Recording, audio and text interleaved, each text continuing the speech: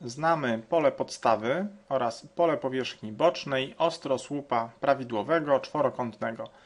Na tej podstawie mamy obliczyć objętość tego ostrosłupa.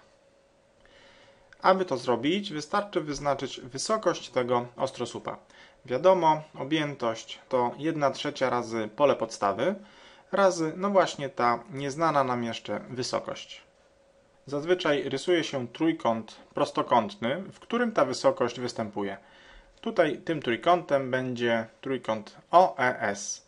Punkt E jest środkiem krawędzi BC. Teraz tak, wiemy, że w podstawie naszego ostrosłupa jest kwadrat, którego bok oznaczamy klasycznie przez A.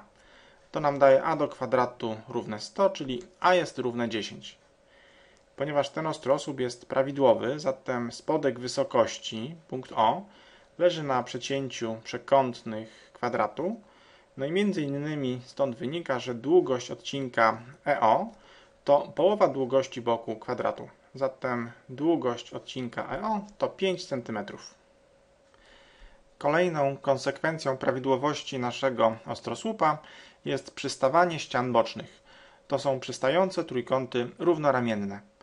Zatem pole takiego jednego trójkąta, na przykład trójkąta BCS, dostaniemy dzieląc 260 cm2 na 4. Z drugiej strony odcinek SE będzie wysokością takiego trójkąta, ponieważ punkt E jest środkiem krawędzi BC. Skoro tak, to pole trójkąta BCS wyrażamy na drugi sposób, jako 1 druga razy A razy HS. Ponieważ A to jest 10, zatem dostaniemy 5 razy HS równe 65, co daje HS równe 13. Po naniesieniu tych dwóch liczb na rysunek wszystko staje się jasne. Możemy oczywiście obliczyć długość odcinka OS stwierdzenia Pitagorasa, ale po co? Mamy tutaj bardzo typową sytuację. Właściwie na każdej maturze pojawia się przynajmniej jedno zadanie, które korzysta z którejś z tych trójek pitagorejskich, zatem bez problemu od razu podajemy h jest równe 12.